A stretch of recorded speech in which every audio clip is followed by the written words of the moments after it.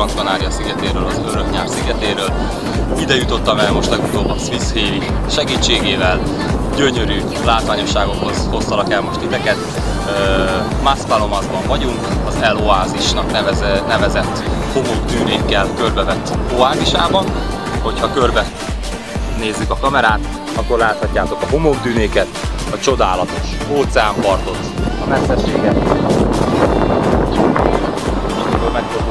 fogjátok látni Grand Canari szigetének hegycsúcsait.